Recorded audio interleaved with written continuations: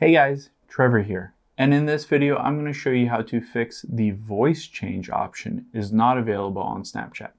It's pretty quick and easy, so let's jump right in. Now, I'm going to open up Snapchat here and record a quick video of me talking.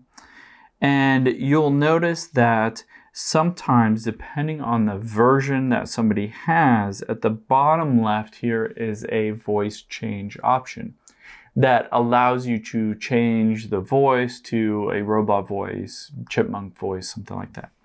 And of course, on the middle right here is just an option to toggle the sound on or off, but there's no voice change option. Now, the thing to keep in mind is I have the latest version of Snapchat and they are testing out different options on voice changing in different areas depending on where you are and which device you have. So if you don't see that voice change option at the bottom left here, what we can do is tap the X at the top left and abandon this.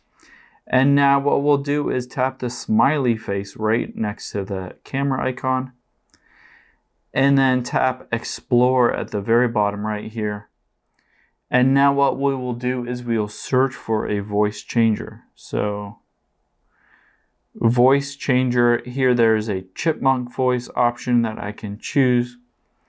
And now if I record on this, it will change my voice to a chipmunk. So let me turn the volume up on here. So that you, this, it will change my voice to a chipmunk. So now you can hear that it's it's changed my voice to sound like a chipmunk.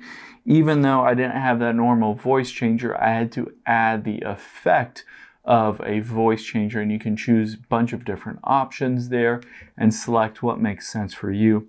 But if you don't see it in the normal edit page, you have to add that effect. Hope this helps. Thanks for your time today and I'll see you on the next one.